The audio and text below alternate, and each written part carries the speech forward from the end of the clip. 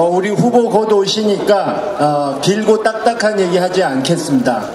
어, 요즘 제가 약속드린 대로 이 호남 지역에서 그동안 선거운동을 꾸준히 했습니다.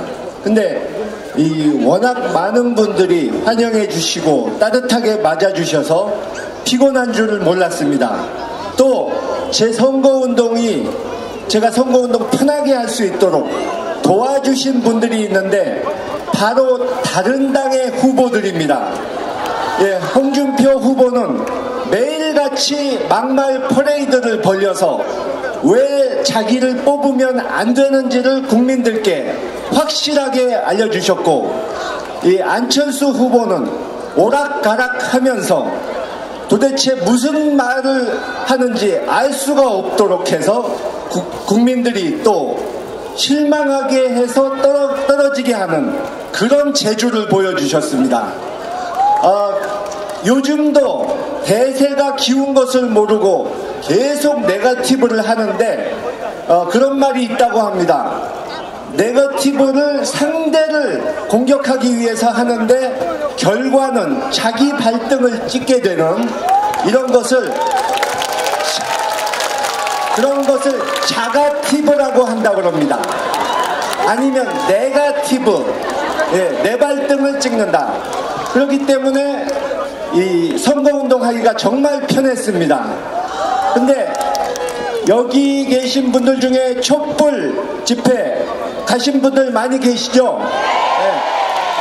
그런데 이렇게 국민들께서 밥을 다 지어서 이제 떠먹기만 하면 되는데 그 밥에 죄를 뿌리려는 세력들이 아직도 포기를 하지 않고 있습니다.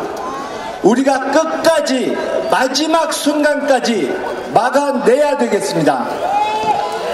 여기 계신 분들 저희 아버지께서 20년 전에 평화적 정권 교체 처음으로 해내셨을 때 그때 열과 성의를 다해서 도와주신 분들도 많이 계신 것으로 알고 있습니다.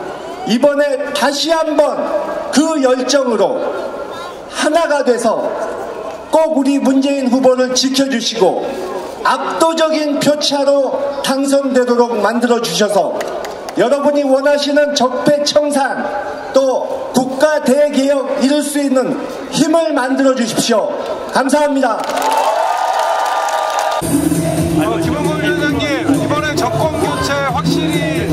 분위기 넘어왔다고 생각하세요?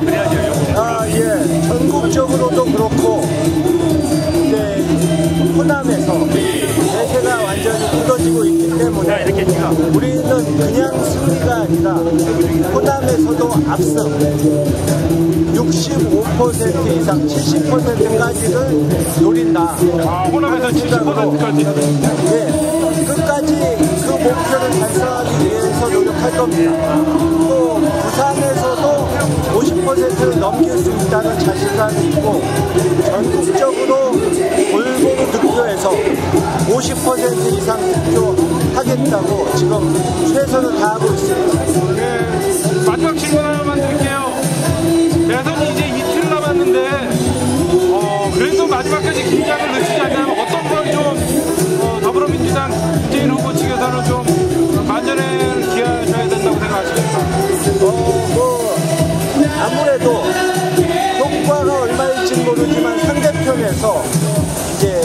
마지막 무리수로 네거티브 공격을 할 수가 있고 예.